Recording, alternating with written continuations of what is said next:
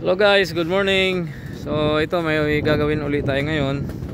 Kasi itong unit na to ah ah, lagi daw may problema. O ito may history na ng sunog ito guys oh. Ito yung takip niya nasunog.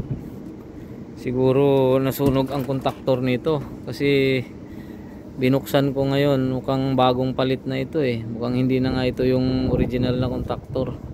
Baka nasunog yung dati ay may itim dito may bakas oh.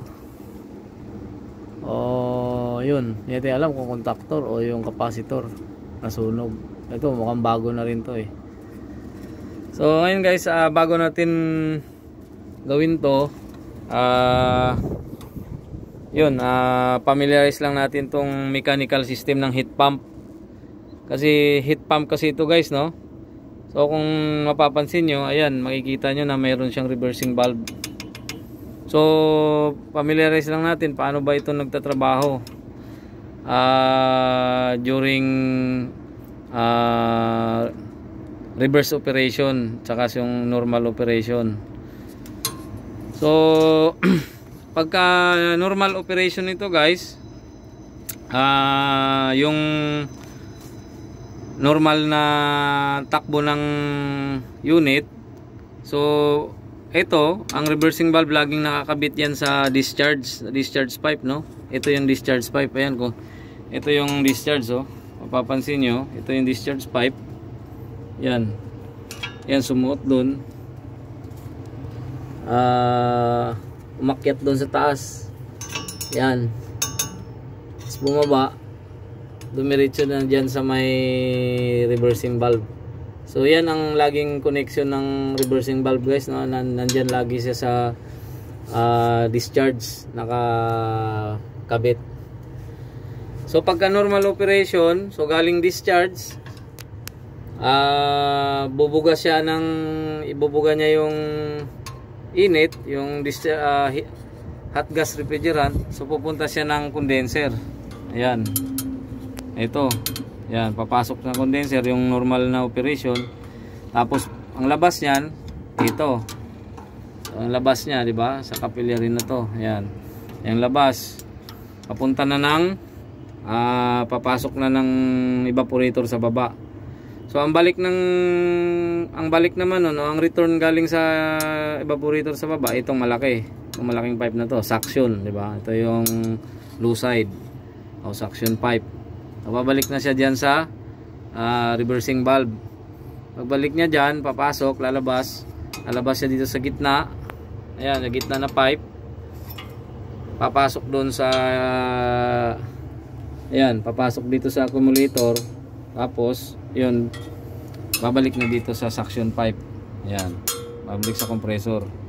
So, yun yung normal na operation. Pag nag-reverse naman yan guys, so pag nag-reverse siya, pupunta yung init naman ng refrigerant o hot gas refrigerant pupunta naman dito. Lilipat dito. So magre-reverse siya. Yung hot gas refrigerant pupunta na yun doon direkta sa evaporator. Ayun pababa doon sa evaporator. So mainit na ngayon yung ibubuga niya doon sa baba during winter. Pag nag-reverse operation na siya.